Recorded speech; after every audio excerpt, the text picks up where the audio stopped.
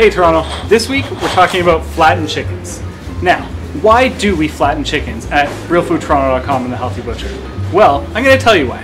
We flatten chickens mostly because it makes them easier to cook and easier to marinate. Now, contrary to popular belief, the process of flattening a chicken is not something we do with our realfoodtoronto.com delivery van.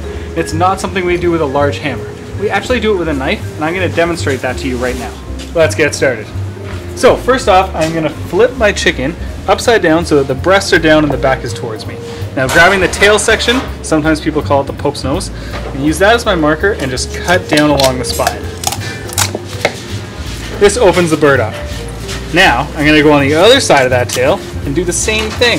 This just allows me to take the back out. It's a little easier to get in there. Now, once I've got my chicken flat like this, make a little slice into the breastbone. And this just allows me to pull it flat. And this stage we've got our basic flattened or butterfly chicken. Why butterfly? Because you can picture this flapping its wings just like a beautiful butterfly. Now, next up, I'm going to remove the breastbones. This is something that is optional. The ones that we sell in our counter and on realfoodtoronto.com are actually sold without breastbones. Part of the reason for this is just that this way the marinade can get right into the meat.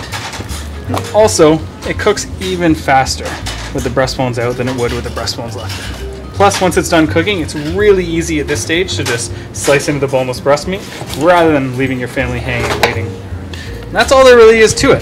This chicken is now flattened and ready for marinating. We always recommend marinating the flattened chicken, just takes the flavor to the next level.